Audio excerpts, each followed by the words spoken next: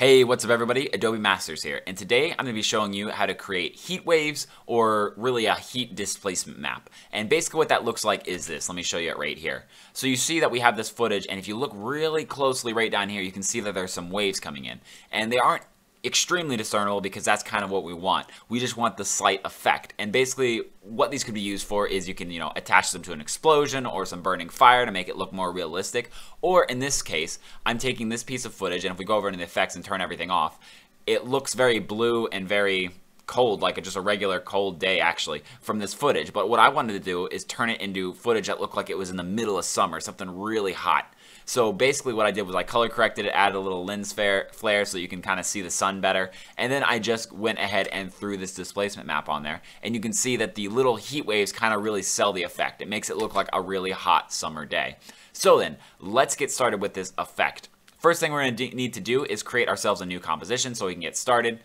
Then we're going to need to drag in our footage. I'm going to go ahead and copy the footage from the other one just because I don't have to recolor correct it so yeah, so I'm just basically throwing in a piece of footage, color correcting it down to orange, and then throwing a lens flare at the top to make it have a cool little lens flare right there. So then, let's get started, I guess, on the displacement map. So basically what you gotta do is you gotta go up here, click new, and then solid. And what we're creating here is the map itself. Basically, displacement map is going to look at this map and it's going to displace however this map is displacing. It'll make more sense as we continue along. So let's create ourselves a solid and then what we're going to want to do is we're going to go into effects and presets and find in simulation CC particle systems 2. You can use any particle system for this if you have Trapcode particular or something like that and you want to use it, go for it. But this one it uh, comes with After Effects, so you know it's free if you don't have any other ones. And it works pretty good for this situation. So as you can see, a particle system, it has a point and it just emits particles from that point. But you can do some pretty neat things with it. Let's go ahead and adjust our particles so that we really get this map working. First thing we want to do is we want to lower this position down. So we want it down here near the bottom. We want the waves to start from the bottom and come up because that's kind of how heat waves usually work. The heated stuff on the ground is emitting the waves back into the air so you get those heat waves. We're then going to increase the radius. And the reason we want to do this is because waves don't just start at the center, they're coming from everywhere and then heading up. So we don't want them just coming from the center, we want them coming from like a box on the bottom. Next thing we're going to go do is in physics, we want to go ahead and reverse that gravity. So instead of it falling, we want them all to be slowly rising like this. And then we kind of want to lower that uh, velocity down a tad too. We don't want them flying, we want them slowly drifting upwards. So we have that going. Um, next thing we want to do is we want to go into the particle itself, and let's go ahead and change this down to a faded sphere. Sphere. Uh, the reason we want to do this is because waves and stuff like that are very rounded. They're, they don't have harsh edges. And so when we use the displacement map, we don't want to use something with harsh edges. So we're going to go ahead and increase the birth size about there, the death size a little bit less than that, but not too much. And we kind of have this, this forming right here. And you can kind of see that if we displaced, you know, using this, that it might start looking like waves.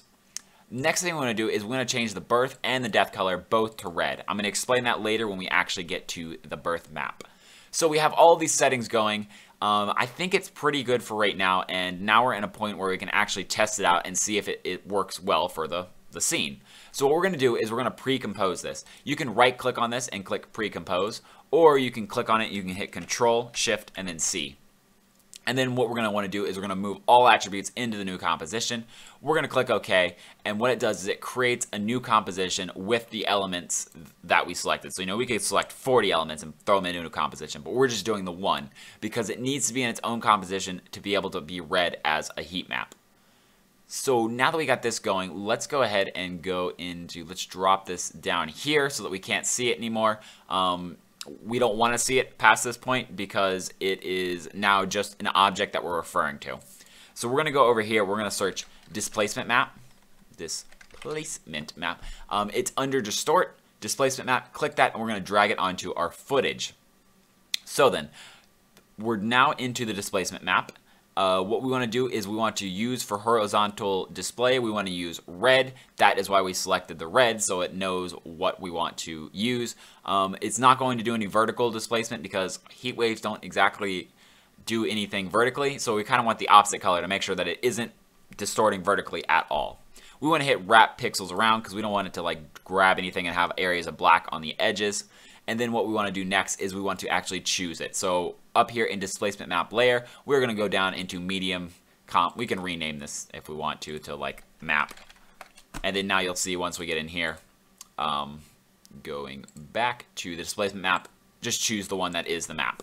So we have map selected, and just like that, you see, you got some beautiful little heat waves going through it.